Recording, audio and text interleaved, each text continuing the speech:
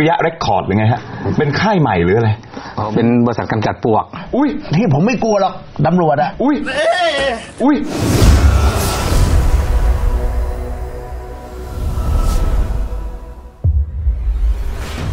ถ้าจะพูดถึงพิธีกรข่าวสายโหดที่มีลีลาการถาม การซักไซและการขอดเกล็ดแขกรับเชิญอย่างถึงพริกถึงขิง ชนิดที่ว่ามีคำกล่าวของคนต้นข่าวทั้งหลายว่า ถ้าไม่แน่จริง อย่าคิดไปออกรายการโหนกระแสของหนุ่มกัญชัยเด็ดขาด เพราะถ้าคุณไม่ใช่ของจริง จากที่คิดจะใช้รายการนี้ เป็นเวทีแจ้งเกิด หรือฟอกข่าวให้กับตัวเอง อาจจะกลายเป็นการขุดหลุมฝังกลบอนาคตซะมากกว่าและหลายต่อหลายคนก็เป็นเช่นนั้นไปแล้ว เพราะหนุ่มกัญชัยนั้น ถือว่าเป็นพิธีกรที่มีความสื่อระดับไฮเลเวลอันนี้แอดไม่ได้กล่าวหาเฮียหนุ่มแกพูดเองเลยและด้วยความสื่อระดับสูงสุดของจักรวาลเขาจึงจะมีการตั้งคำถามแบบกัดไม่ปล่อย จนคนต้นข่าวถ้าพูดโกหก จะโดนต้อนจนจนมุมกับคำพูดของตัวเอง อย่างหนึ่งที่หนุ่มกัญชัยค่อนข้างจะได้เปรียบพิธีกรข่าวในแนวเดียวกันคือ เนื่องจากเขาเป็นนักแสดงจึงมีลูกล่อลูกชนแพรวๆแถมยังมีทีเล่นทีจริง ซึ่งบางครั้งมันเหมือนเป็นการขุดหลุมล่อ ถ้าแขกรับเชิญไม่ระวังก็จะตกหลุมพรางเอาได้ง่าย ๆ ผลคือการฆ่าตัวตายกลางจอแบบไม่รู้ตัว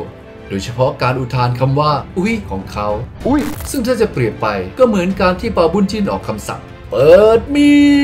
ดยังไงอย่างนั้น คือถ้าใครไปออกรายการโหนกระแส มึงอย่าให้กันใช้ต้องอุ้ยเพราะถ้าอุ้ยเมื่อไหร่ หมายถึงความชิบหายกำลังจะมาเยือนมึงเข้าให้แล้ว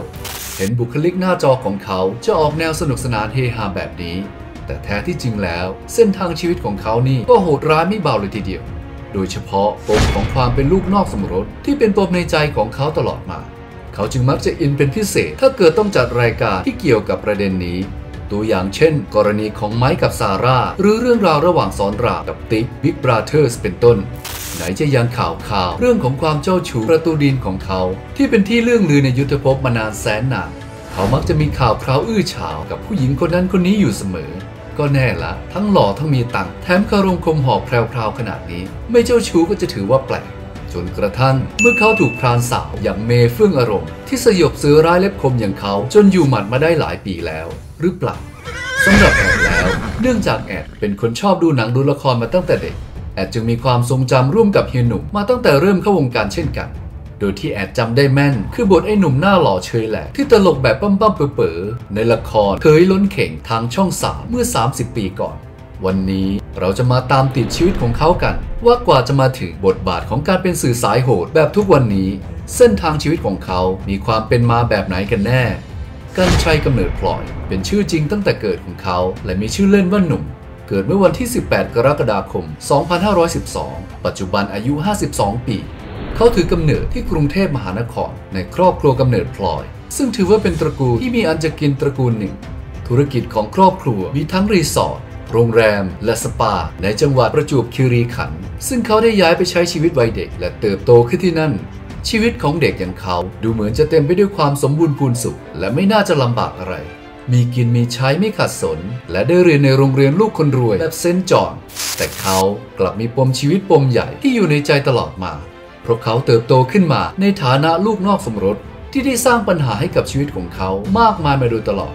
แอดหาประวัติของแกว่าเข้าวงการยังไง ใครเป็นผู้ชักชวน แต่หายังไงก็ไม่เจอข้อมูลตรงนี้ฮะ เอาเป็นว่าเราตัดตอนมาถึงการเข้าสู่แวดวงละครของเขาเลยก็แล้วกัน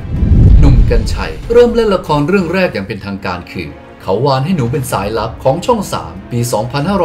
2534นับถึงตอนนี้ก็เป็นเวลากว่า 30 ปีแล้วที่เขาอยู่ในวงการ และมีผลงานละครของช่องต่างๆ รวมทั้งหมดประมาณ 78 เรื่อง โดยส่วนใหญ่จะเล่นให้ช่อง 3 เป็นหลัก และมักจะเล่นบทพระรอง ตัวร้ายหรือตัวสมทบมากกว่าที่จะเล่นเป็นคนดี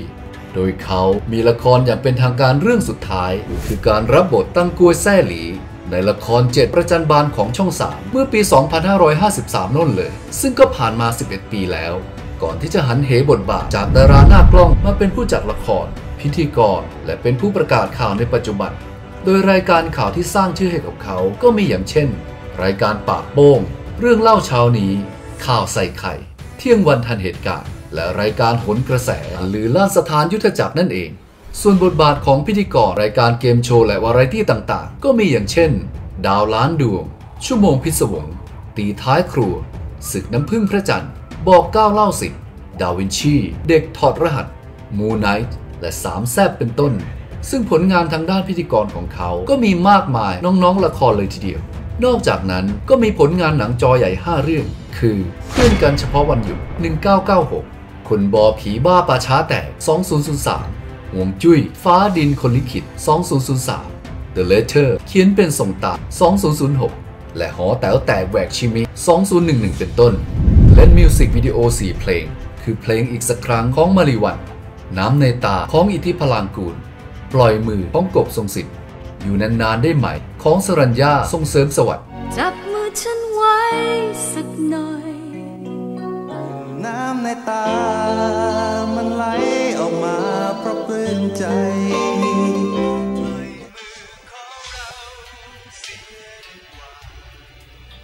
ให้ฉันลืมวันคืนที่เหินห่างและมีผลงานเพลงเป็นของตัวเองสองเพลง คือเพลงรักเธอมากกว่าเดิมและสุดทางรัก แม้วันนี้ฉันดูแปลกไป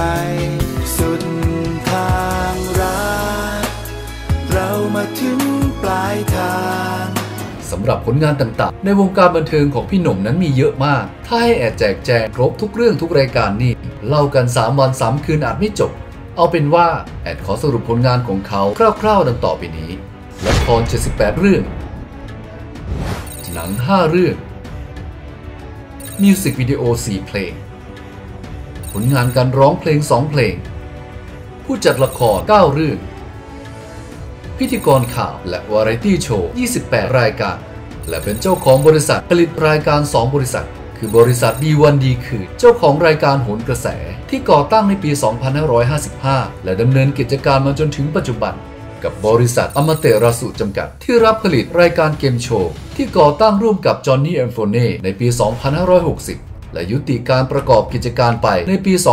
2563 เรื่องราวบนเส้นทางชีวิตของคาสโนวานั้นก็เต็มไปด้วยสีสันและความดุเดือดเลือดพล่านมาโดยตลอด โดยกว่าที่เขาจะยอมถอดเขี้ยวเล็บและหยุดตรงนี้ที่เมกก่อนหน้านั้นเขาก็มีข่าวคราวกับสาวๆมากหน้าหลายตา ซึ่งรู้นแล้วแต่เป็นตัวแม่ของวงการทั้งนั้น ซึ่งถ้าให้แอดเล่าทั้งหมดก็คงจะต้องใช้เวลา 3 วัน 3 คืนเช่นกันแอดจึงขอเล่าเฉพาะเหตุการณ์สำคัญที่สุดที่เปลี่ยนชีวิตของจอมเจ้าชู้ยังหนุ่มกัญชัยไปตลอดกาลคือเรื่องราวของเขากับพิธีกรสาวรายการตีสิบและพรานสาวล่าเสือที่ชื่อเมย์และรถมินิคันนั้น ซึ่งเป็นเรื่องราวเช้าโชว์นานเป็นเดือนจนสุดท้ายพ่อเสือร้ายกันชัย จึงได้ตัดสินใจถอดเขี้ยวถอดเล็บใส่ไว้ในลิ้นชักที่ยังไม่ได้ล็อกกุญแจ และใช้ชีวิตร่วมกันกับพรานสาว จนมีพยานรักที่ชื่อน้องมาอยู่ในปัจจุบันนั่นเองซึ่งแอดคงไม่ลงรายละเอียดในเรื่องราว เพราะเสี่ยงต่อการที่เฮียหนุ่มจะมาอุ้ยใส่หน้า แอดยังไม่อยากเจอกับความชิบหาย ใครอยากรู้เรื่องราวมหากราบในครั้งนั้น ไปหาอ่านกันเอาเอง